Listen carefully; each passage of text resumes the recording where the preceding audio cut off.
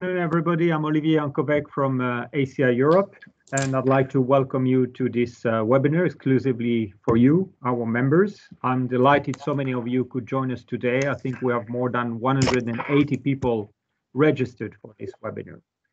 So as our industry takes its first uh, tentative yet determined steps into the recovery phase, and I think we can also speak a little bit more with confidence about the post-COVID reality, we continue, of course, to look at the immediate impact on operations and also the economic reality of this crisis. Um, I just looked at our latest figures as of Friday. Uh, we have the figures up to 28th of June, and uh, since 1st of January to 28th of June, Europe's airports have lost 748 million passengers. That's a drop in passenger numbers of 65%.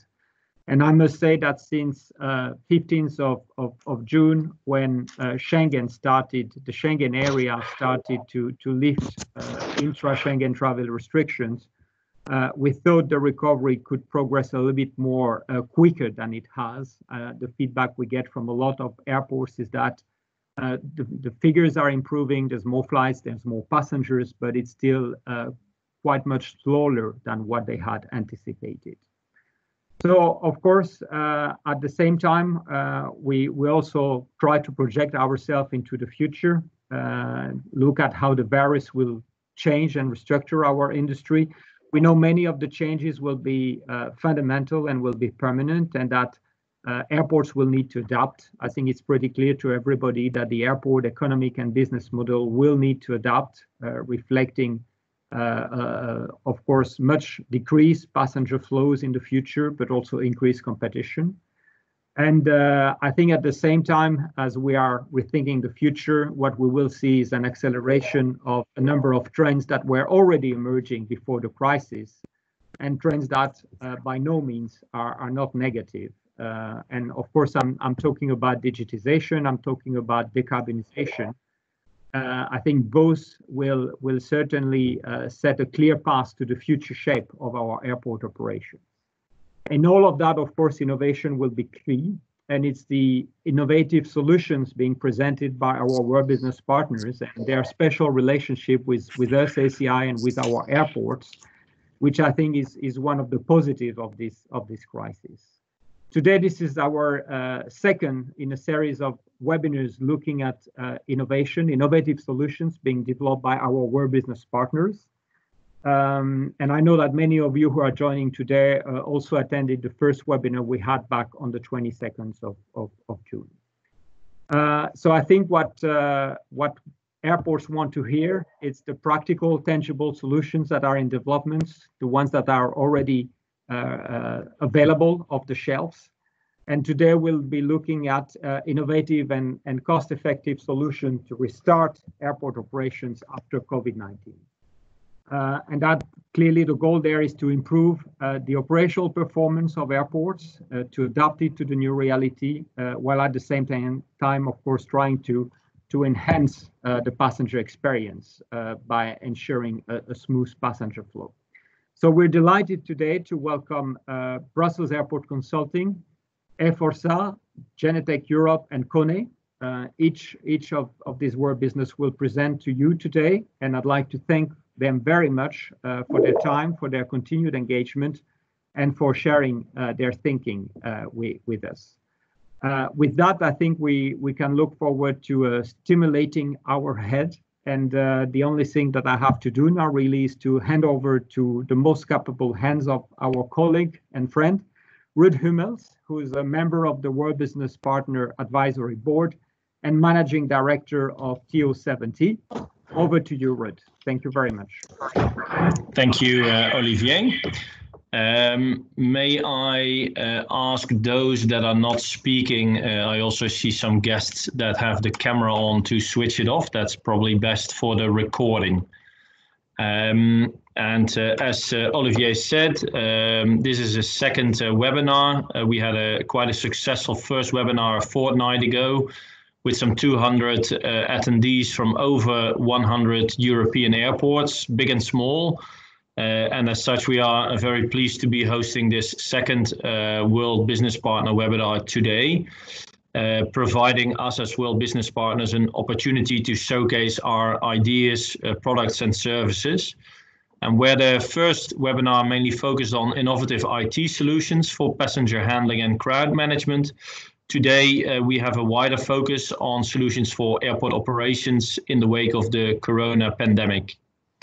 Uh, similar to uh, the first webinar, we very much encourage you to ask questions via the chat functionality in Teams.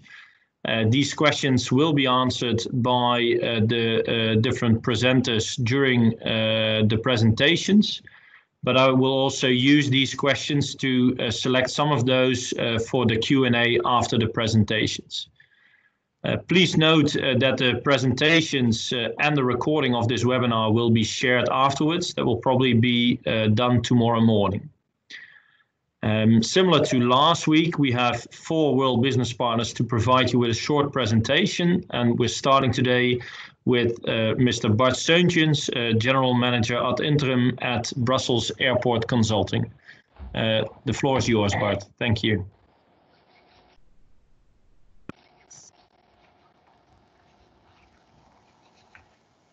Thank you, Ruud.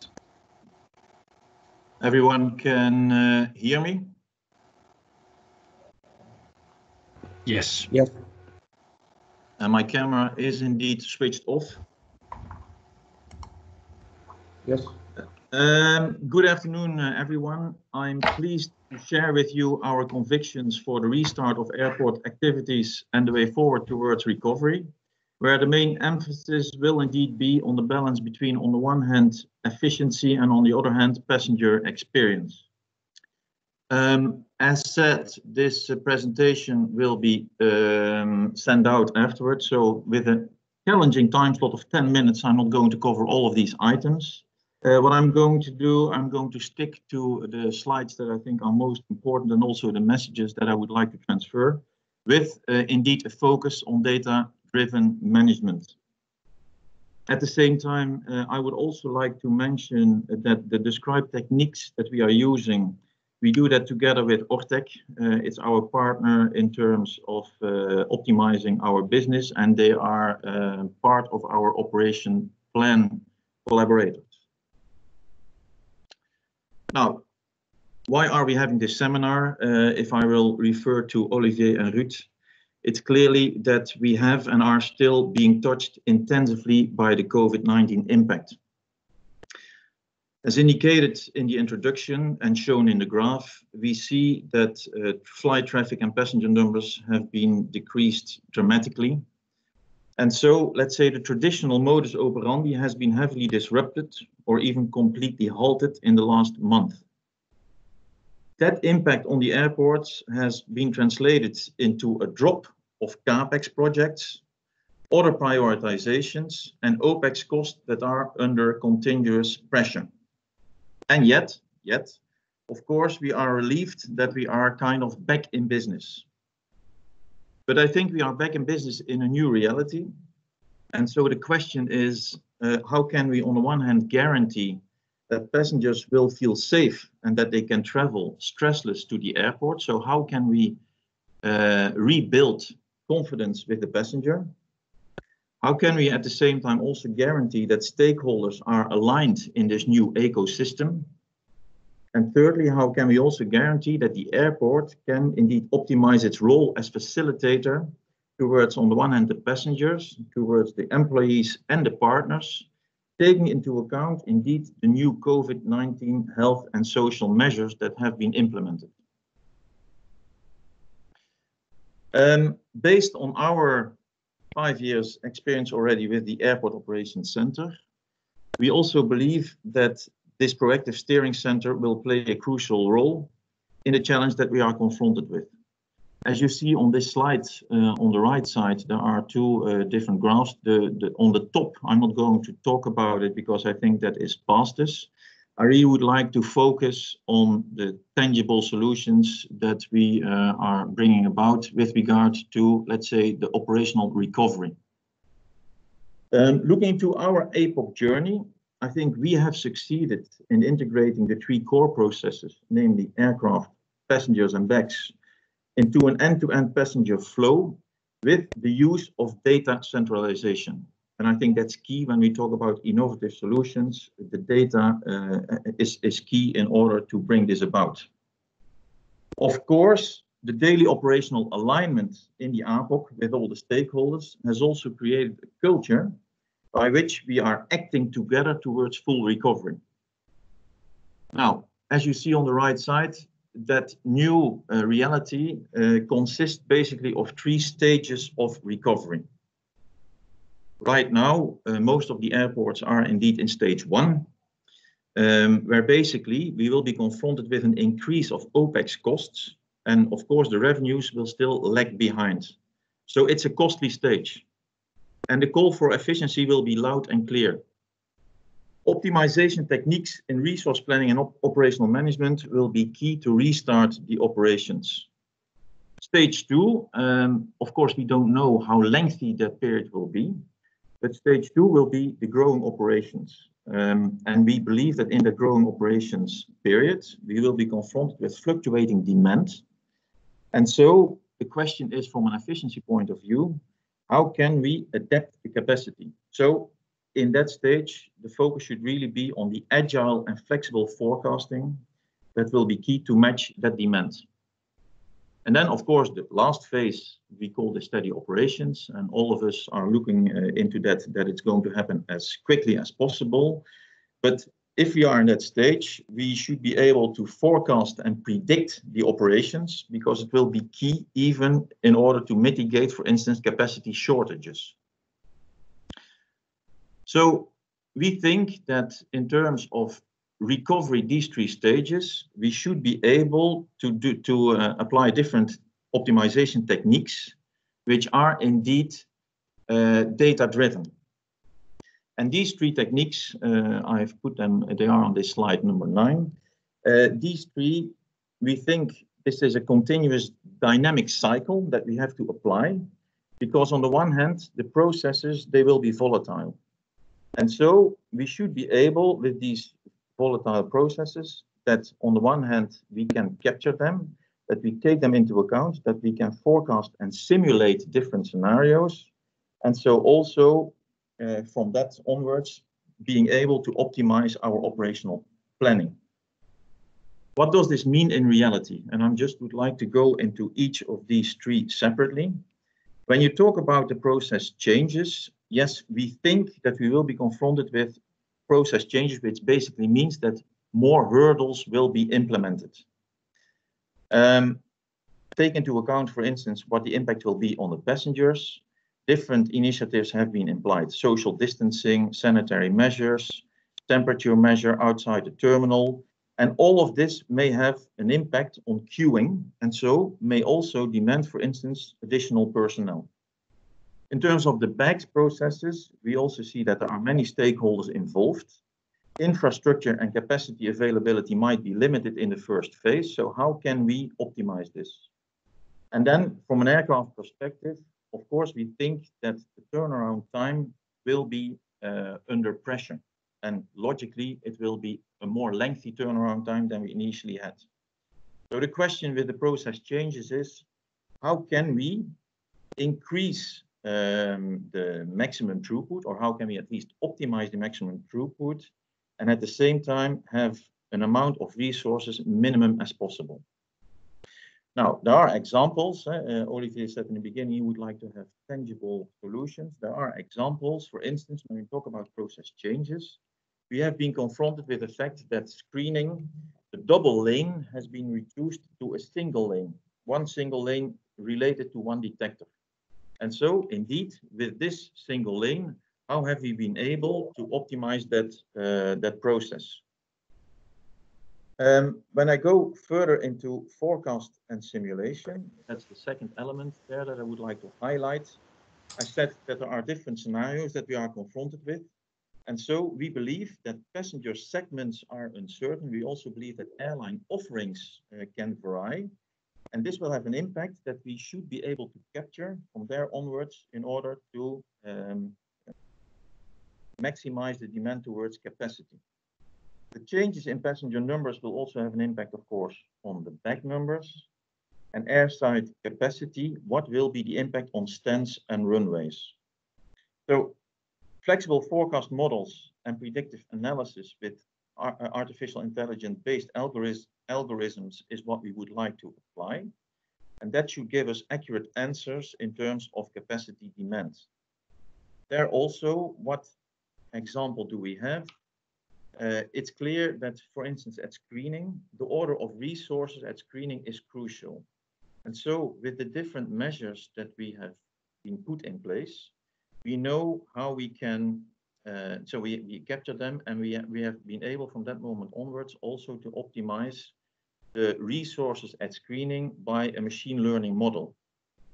And this model uh, is is learning by itself, meaning that it's a flexible and data-driven model, and it has been trained every week. And based on these data, new data, we have been able to minimize the resources of screening. The last one is really related to operational planning, and the question is: how can we effectively and efficient uh, uh, organize capacity planning? That is, of course, a complex puzzle, especially when you have to take many factors into account. For instance, look into the passengers that come to the airport. What will be the impact on the check-in desks? Check-in desks, maybe the future will be that it will be most online check-in, and check-in desks are not necessary anymore. Or what we have done, or what we have been confronted with, is at a certain moment that, Uh, from uh, an operational perspective, we had to organize an empty desk next to an operational desk. So thereby, let's say, the capacity was reduced. And so we not only changed this in a D-2 planning, but we also studied this in terms of the long term and find out at what moment, with, of course, traffic uh, being increased, at what moment we would have capacity issues. So this information is, of course, very important for our capacity manager. So once more, these three streams, we think, should be applied simultaneously. It's important for us, in order to be able uh, to capture all the data, and of course, combined with artificial intelligence and optimization techniques, we think that with these three streams, we should be able to guarantee the right balance between efficiency and, on the other hand, of course, the passenger experience, because the passenger, independent of the COVID or not, still will have his needs and his wishes towards their flow through the airport. This is it for now. Uh, thank you very much for your time. Thank you, uh, Bart. Right on time. Um, I now hand over to Bob Slade from the French company Eforsair. Uh, Bob has over 40 years of experience in airfield operations, both in operational roles and as a consultant. Um, over to you, uh, Bob. Thank you, Ruud, and hello to everyone out there. Many thanks to ACI for the opportunity to present our solution for managing airside operations within the context of isolation and remote management. Today, I'm going to talk about the effects of COVID-19 relating uh, to airfield operations management and what still has to be accomplished daily, whether on-site or remotely, and how we can improve this situation. Social distancing relating to airfield operations teams and the coordination of working practices requires a huge amount of communication between individuals, management, and departments for the airfield to remain operational and compliant. Working remotely is impossible for the majority of these people when the airfield is active, so physical distancing needs to be applied within the constraints of each of the departments. Managing operations remotely has become a complicated issue in respect of the new measures, especially if users are having to rely on established pre-COVID tools. This has proved to be problematic for many individuals and departments having developed their own methods or having purchased software solutions for their own specific purposes over many years. The airfield must maintain their operational capability and staff retain their competencies if they are to respond to the daily changes forced upon them by the current situation, even when they are temporarily inactive. Runways and taxiways need to be kept in peak condition for regulatory compliance. Wildlife presence has increased due to a reduction in disturbance, and equipment still has to be checked daily and maintained. Allocation of work schedules and maintaining staff competencies continues. Anomalies must be dealt with and followed up. Procedural changes need to be updated, developed and communicated and documented and constantly managed. The remote management of these issues I've just mentioned presents us with a challenge in communications and coordination. The Forceair's expertise in the field of operations in close collaboration with our clients and coupled with our expertise in software development has allowed us to directly study and analyze the current situation of airport management systems for data and compliance across the world. As you can see on screen, some airports are still using very basic methods that require multiple visits to retrieve, collate, communicate and manage that data. COVID has highlighted the need for us to be able to work remotely and sometimes in isolation.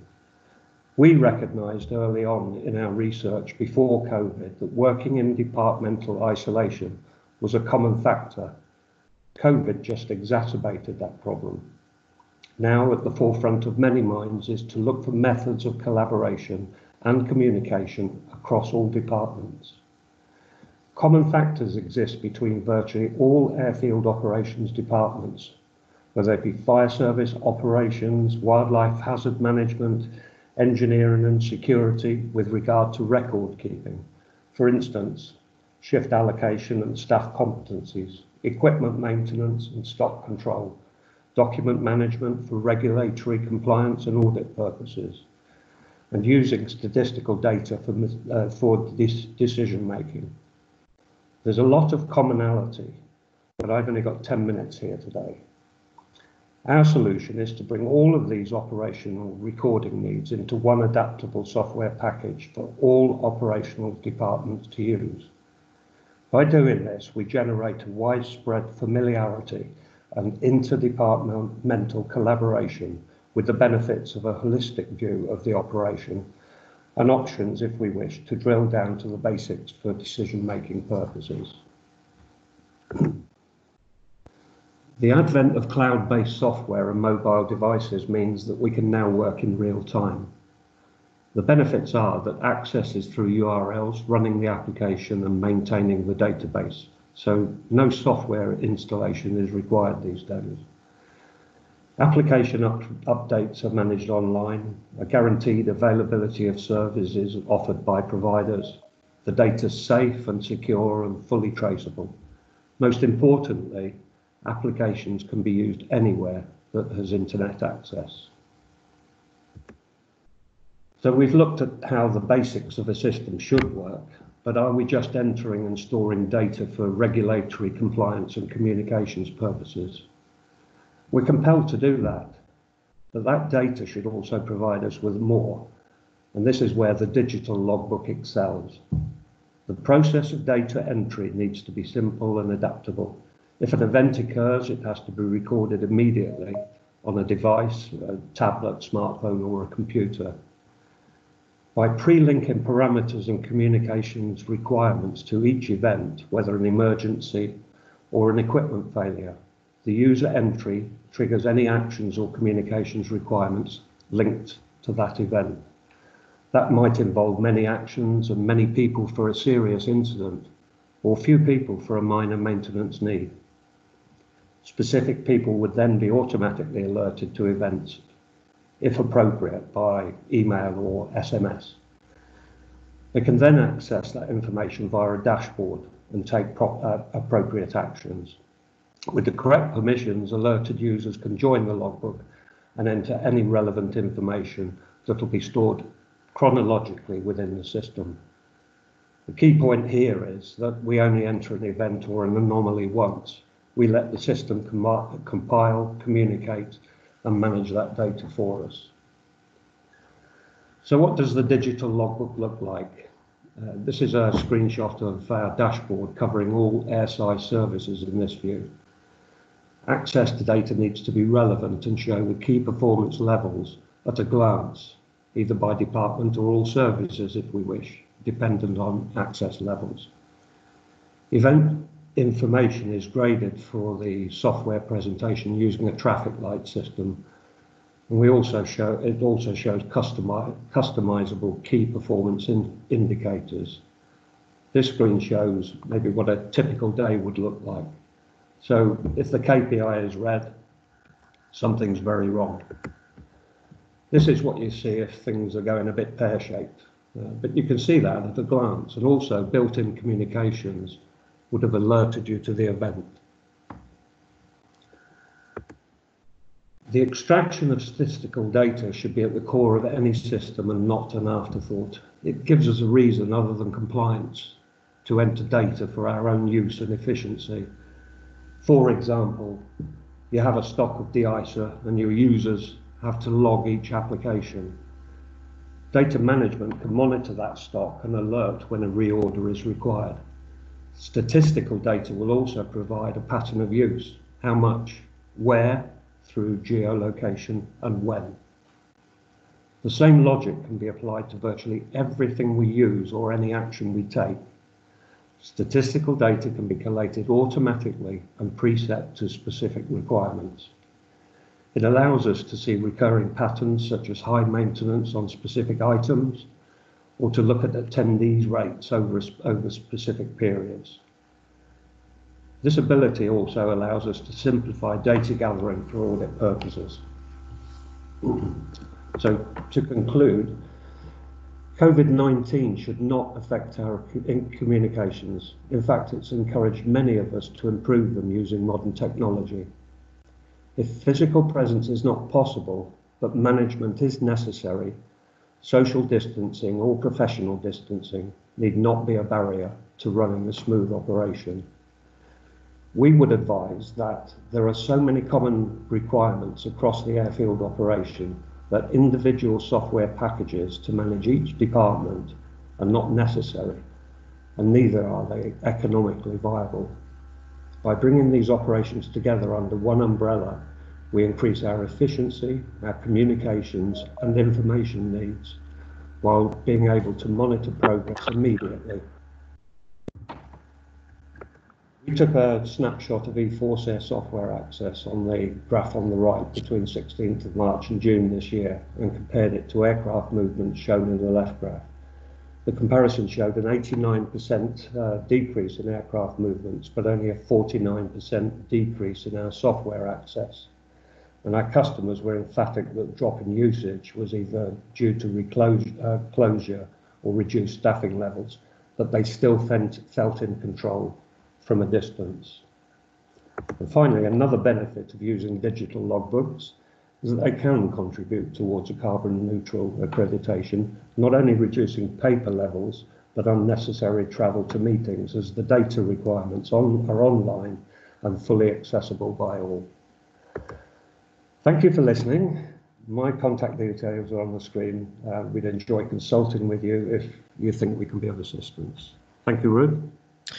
Thank you, Bob. Um, first of all, I note that uh, different to the first webinar, there are very few questions coming in uh, via the chat functionality. May I remind you all that uh, uh we uh, love to see you ask questions and uh, presenters will take up uh, these questions throughout the webinar, uh, and they also obviously feed into the Q&A, which we still plan to do uh, at the end of this uh, webinar. Um, the next speaker uh, is Cheryl Stewart, uh, Airport Marketing Data Analyst at Genetec, Security Solutions Provider from France. Cheryl, off you go. Thank you, Ruud. Hi everyone, thanks for joining me in this session. So today I'll be sharing with you some innovations in Genetec to help customers face this new normal. Without further ado, let's get started. My name is Cheryl Stewart, as Ruud mentioned, and I'm the airport marketing analyst in Genetec.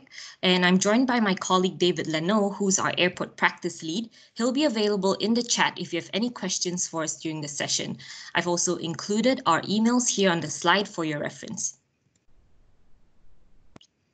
Now, in the next 10 minutes, I'll briefly take you through who Genetec is, what are some key considerations for airports when they reopen, and I'll also introduce to you some solutions that we've developed in Genetec that can help airports get back um, on track as smoothly and swiftly as possible.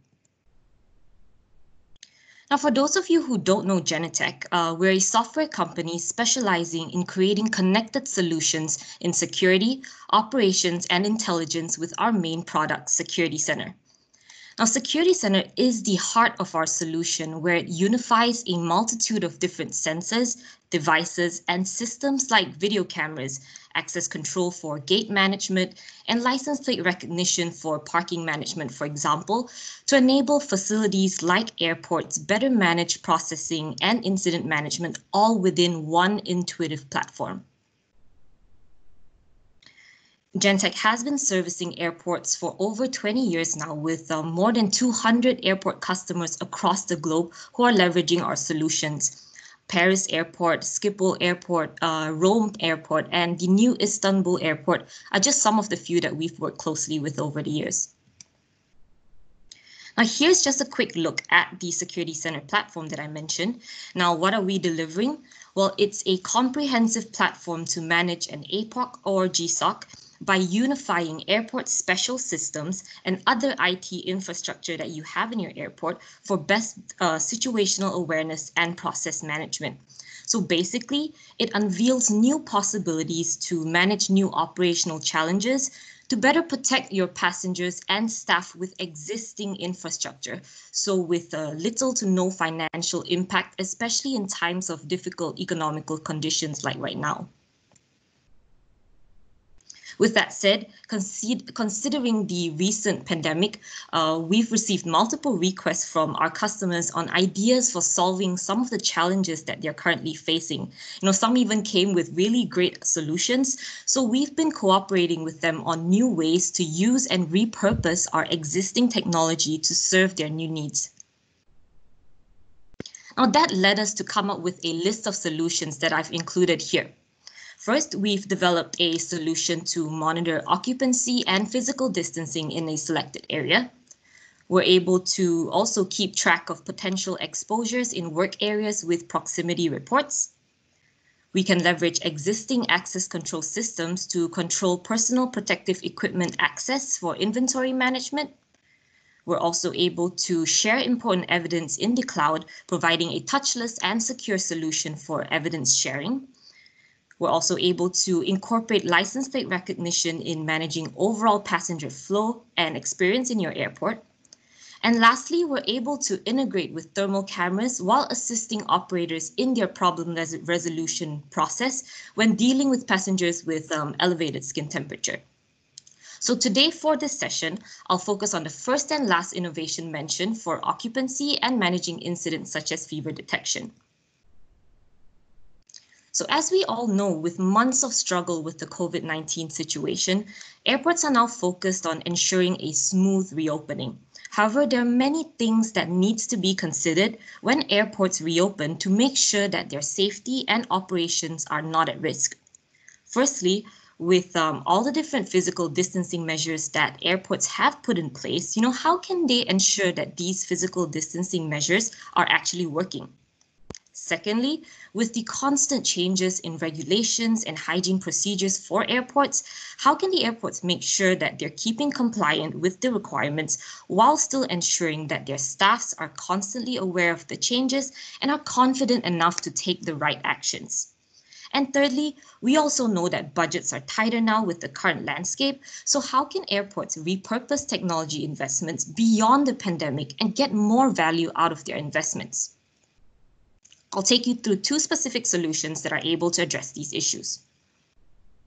Our first solution is passenger flow analytics that helps validate hygiene measures that are in place to allow you to take corrective measures accordingly. What it does is that it analyzes the flow of passengers through airport-specific widgets and dashboards to give you a better understanding of what is going on in your airport. It's able to count people, manage occupancy, measure physical distancing while still letting, uh, while also, you know, still letting you know that a situation is getting out of hand, such as a queue is being built up in a specific area, and triggering a process automation, such as opening a new counter. Passenger Flow Analytics is also able to ingest data from a variety of sensors from LiDAR to Bluetooth Wi-Fi to video analytics. And now as for measuring physical distancing specifically, it leverages 3D LiDAR sensors that assesses distance between all people in a specific area, allowing us to make sense of that data.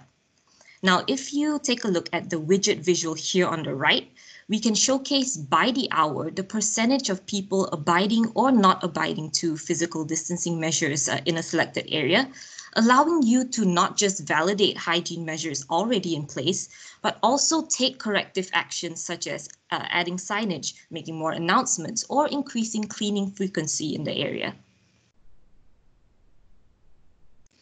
Now, we also understand that merely investing in technology like LiDAR to only address current issues like COVID-19 might not be fully worth the money, right? You know, what if it's not relevant anymore? Or, you know, what if the situation changes? Now, the LiDAR system used for measuring occupancy and physical distancing that I mentioned just now is also among the most accurate and reliable perimeter intrusion detection sensors in the market. And uh, with Genetec's restricted security area surveillance module, as seen in this image here, we're able to leverage the positional data from the LiDAR sensor to control multiple cameras simultaneously and accurately identifying and tracking moving objects in an area of interest. Now, having said that, this allows you to have a multifunctional sensor to extract more value from your investment. And the second and last solution I wanted to bring up is Mission Control, Genetec's collaborative decision-making tool that helps you stay in control of procedural changes. We've seen uh, many airports now invest in new technologies such as uh, thermal cameras to better identify individuals with higher than expected skin temperature, but problems arise in terms of dealing with these specific passengers as regulations are frequently changing and being constantly aware of these changes can be really challenging. Now, during a recent panel discussion we had with um, our airport end user, a security director of one of the large US airports shared with us his struggle in terms of bringing new regulations to paper and having them signed while still needing to amend and add new ones every single day.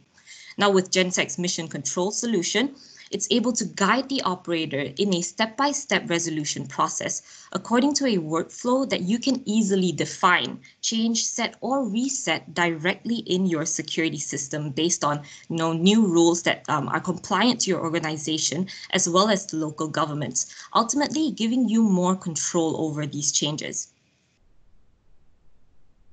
Now, for example, once a passenger is identified as having a temperature that's above normal, what are the next steps? Should this passenger be retested? Should they be quarantined? You know, uh, what if it's a false positive? Now, all these questions can be addressed in advance with mission control by having a predefined standard operating procedure, allowing your operator and on-premise personnel to react confidently knowing that they're assisted by a digitized SOP that takes them through the entire resolution process from incident detection with trigger to response. I've also highlighted in um, orange on the image here to give you an idea of the step-by-step -step process that the operator will go through when dealing with incidents using mission control. And also lastly to add, Mission Control also provides an audit trail for managerial assessments in real-time dashboards for you to track how quickly a situation was handled. For example, you know, who has done what in that situation and also the number of occurrence of a specific incident, giving you that kind of information to make a, a better judgment.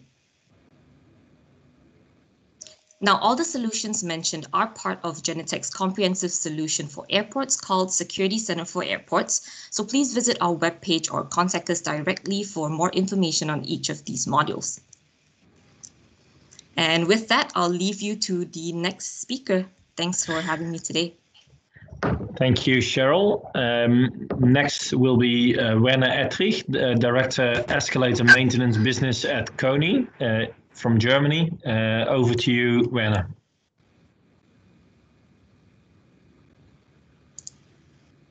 Are you able to hear me? Yes. Okay, good. And then uh, I'm going to presentation mode. You're able to see my screen. so thank you uh, having me here today. So I'm Werner Ettrich. I'm located in Hamburg, as you said. My current role today is I'm the director for escalator maintenance at the global level. And due to my role, I have been a frequent traveler for the last 10 years. And really believe me, I do love airports which are well functioning. I spend so much time there. So today, I would like to take the opportunity uh, to share our view how we could improve the passenger experience in airports through safe, efficient, and hygienic people flow solutions, and to learn how we jointly can bring back the trust to the society, and for me, turning back as soon as possible to pre-COVID times. Just a quick note to Kone. We are one of the global leaders in the elevator and escalator industry. We were founded in Finland in 1910, and today we have somehow 60,000 people and we are serving more than 500,000 customers. When it comes to airports, we are working together with uh, a range of airports such as Helsinki Airport, Oslo, Munich, Heathrow, Muscat, Beijing, and many other more. Um, what I would like to touch today is um, to gain really the common understanding for passenger flow in airports. Then I would like to share what are our health and well-being solutions and what would be the benefits for airport operators and end users. And I would like to give a quick snapshot into connectivity and IA-based uh, solutions and, and how we could collaborate on those. Um, my last air travel was in the beginning of March when I took a vacation trip to the US. And when we started our journey uh, in Copenhagen, it already was very visible that uh, it's not normal because only half of the normal passengers and everyone who knows Copenhagen airport knows how busy it was. And when we came back uh, from from Florida, it was even worse. We just came back when the lockdown for Europe was announced. Uh, there was only the people arriving, but no people departing. So quite scary. So in the meantime, uh, in the lockdowns, what did we learn and what did we apply as society, right? So we have very clear rules now for social and physical distancing. We are focusing much more how to wash the hands correctly and how to sanitize it. You have everywhere the sanitizer kits. Uh, we have learned not to touch our face. And in Germany, I even need to go when I'm shopping, I need to have a prote protection mask. So, so that happened in the meantime, the last four months. When it comes to an airport journey, I would like to use my function today from a two perspective. One on the Kone side, but I've been also a frequent traveler, and uh, I'm looking also forward to come back uh, to the air, air travels. So, but how do I feel and how do I see as a passenger basically airports today? So when I check in, uh, that's quite simple. I use my app. When I go to the airport, normally I would go directly escalators and then up to the security gate. But here already the first question mark, is it now any more safe to touch the handrail on the escalator? Somebody could, you know, uh, but it is really safer to hold the handrail because I know the risk from escalator. When you go to the security gate, uh, queuing up, what are they doing with my luggage? Who is touching it? Uh, and sometimes, you know, you get researched, uh, how close does the person come to me? When you're after the security gate, I normally would then go to the lounge, right? Taking elevator. Again, can I take the elevator? Pushing the buttons. Who has pushed the button before me? Is it safe to do? Inside the car. I mean, who has been sniffing in there?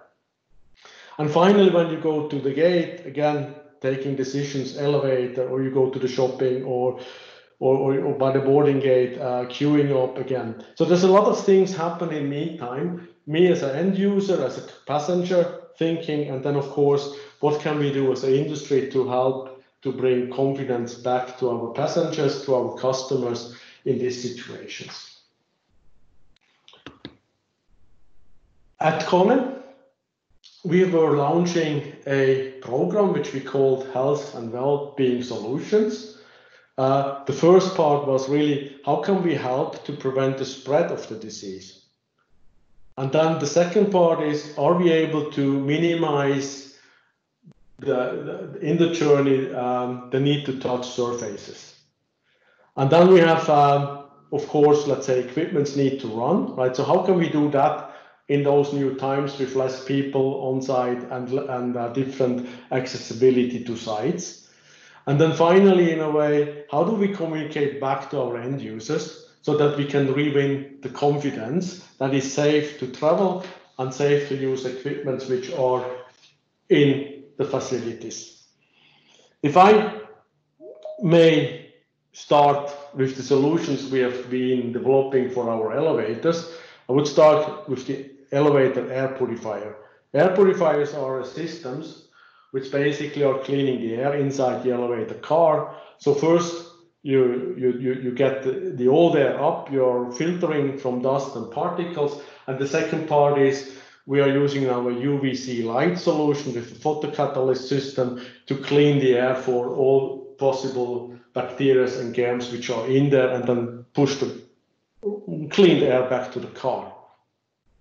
A second solution, which is also on the way and what we are using now for our new elevators are these antimicrobial elevator walls, decorations, and the handrails. So we are using the latest technology so that even on the walls, if somebody is touching it, that it doesn't stick there. Then a quite smart solution is to reduce the touchy uh, on the on the on the push buttons. So we also have a solution which enables uh, to call and use the elevator by a mobile app by using QR codes. And what I would recommend to all the airport um, um, operators maybe to look into how you can limit now the um, numbers of passengers in an elevator car by reducing the load weight. And then what we of course also did to support the customers, we launched a range of stickers, so helping uh, end users, passengers to understand what are the do's and the don'ts in the journey when using the elevator. And for the uh, social distancing, also where you will put basically uh, the distancing mark in front of the elevator so people understand and can apply to it. When it comes to escalators, um, I would I would start by the handrails. Uh, today there are already handrails available which are from the consistent antimicrobial.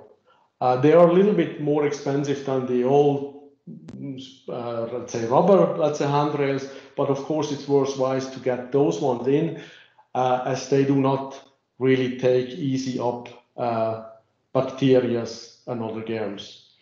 It requires, although, that they are cleaned from time to time so that it keeps the condition. You can't really prevent that somebody puts the ice cream on it. Then what we have done now, we introduced a uh, inbuilt UVC uh, handrail sanitizer system where we basically use the ultraviolet light to disinfect the handrails and the exposure of it basically helps uh, to reduce and inhibit the re reproduction of microorganisms. Uh, important on that solution is also that it doesn't really impact the lifetime of a handrail as those are quite expensive. And also important, the light is not exposed to passengers moving on the escalator. I would strongly emphasize in that call, uh, we should not put uh, customers, passengers to the choice touching or not touching a handrail. It is absolutely recommended to hold the handrail when you take an escalator. There can always be an unintended stop on it, and that would basically increase the risk of incidents. And finally, also for escalators, we are producing this uh, distancing um, uh, stickers you can put on the inner decks. So three steps is our recommendation, then you are safe on the social distancing rule. And of course, also uh, signs on the balustrade, it's safe to use the escalator. Finally, I wanted to share with you how AI solutions, new digital solutions could help us in the future, bringing the new world and the old world together. Um, I guess we could do a webinar by its own for that topic, but uh, I want to share one case. We were working together with one airport operator before the COVID crisis, where we basically had the issue that whenever an equipment was stopped, it took 90 minutes, up to 90 minutes before it was put back to use. And uh, when we have connected the units, uh, we were basically able to find out that 90% of the cases are simple cases, misuse, or somebody dropped the luggage to the handrail inlet switches, and that normally turns off the escalator. By using the IoT technology and integrated that to the operator systems, basically we were able to bring it down to the 15 minutes, okay, depending on the size of the uh, airport, it takes a while to reach the destination where the equipment is located. So basically, that was a snapshot from me as a user and from a leading elevator escalator company. Thank you for your time. Thank you, uh, Werner. Um, May I ask the presenters to uh, switch on the microphones and cameras again? Um, we haven't seen any uh, questions come in. Um, I, however, do have uh, some questions, uh, maybe following the order of the presenters. Let's start uh, with Bart. Um, taking into account uh, the data that you mentioned, uh, it seems uh, you've already made some progress with that in the past, uh, and I imagine you are dependent on uh, some of uh, the other stakeholders in the APOC. How easy or complex have you found it to bring these efficiencies about? thank you, Ruud. Uh, it's true, I think that um, uh, fortunately, maybe due to the APOC, uh, we have been working with the different stakeholders, and you can divide the stakeholders on one hand with, let's say, the commercial stakeholders, and on the other hand, the compliance stakeholders together.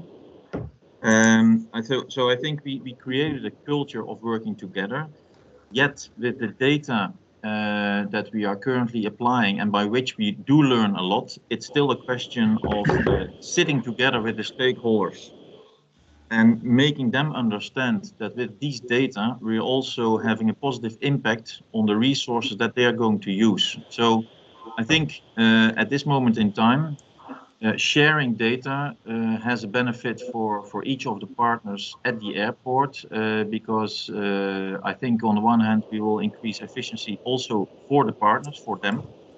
And on the other hand, uh, logically, we should still um, focus very much on the passenger experience. So that's the way I think we are currently uh, going about this uh, together uh, and, and interactively discussing with the stakeholders on each of these uh, measures or each of the data decisions that we would like to implement.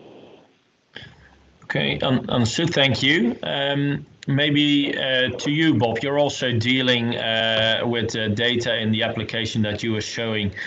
Um, how do you ensure that uh, the data entered into the system is actually compliant for uh, statistical use? Uh, thanks, Ruud. Um, for airfield operations and the requirement for audit, uh, we need to use a specific language. Um, ICAO's ADREPS taxonomy sounds a very posh word, but basically our software is, is fully customizable. So we, when we set up with an airport, we um, enter this data in that's, uh, say, bird types or aircraft types or wind levels, everything like that requires a specific term in order to be reported back to those people, um, say regulators or whoever. Um, so we use that fully compliant taxonomy, although it is customizable. Um, and the reason we use it, we set it up with the customers, is because there's always mistakes in inputting data by hand. Far better to use uh, um, other methods. Um, but sometimes um, in, the, in, the, main, that's not possible in the airfield. Um, so we build a taxonomy in there. When data is entered, we enter it through pick lists. So those pick lists are very specific, the words are spelled correctly. And that makes the data retrieval uh, more specific, we can manipulate it with confidence, knowing um, that the terminology is right and the spelling is right. Thanks, Bob. Um, I also have a, a question. Uh, still, um, we are open to questions uh, for which you can use the chat box. Um, but maybe uh, a question that I had uh, for you, Cheryl, uh, looking at your presentation uh, regarding passenger flow analytics, and also linking that perhaps to the presentation by Bart, who was talking about D minus one, D minus two. Um, do you also use your uh, solutions uh, in uh, forecasting or only in uh, identifying uh, any uh, particular issues that you might have at present time? It's more of the present time and less of forecasting. What we do is we utilize the data and um, to make um, and using those data to make changes and actions changes accordingly. But from there, we can use the data to to see that okay at this time of the day it, the the character or the specific ways uh, number of people during the day there are more at this time this time so we can make those changes accordingly. And with that prediction but forecasting no. Okay. Understood. Thank you.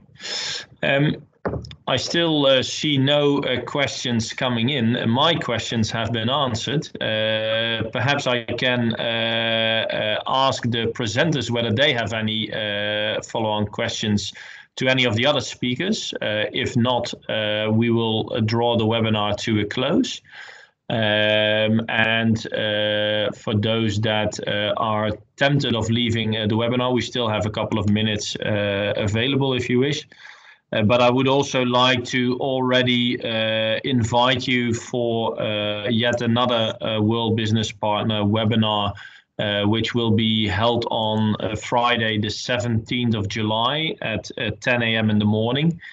we initially wanted to do another webinar, but then perhaps host it after the summer period. But um, as there has been a lot of interest in these webinars, uh, both from World Business Partners as well as from the airport members, we decided to host another one this side of summer. Um, so uh, hereby you are invited. Uh, any other questions some of the speakers might have for the other presentations? Then I would like uh, to thank uh, you uh, for uh, giving these presentations. Uh, it has again uh, allowed us to link the World Business Partner Program up with the airport members in ACI Europe. Um, so that has been uh, very useful again. Um, uh, for all of you, uh, stay safe and healthy uh, in these uh, difficult times for uh, most of us working in the industry. And we hope to see you in a fortnight. Thanks. Thank you. Thanks, guys.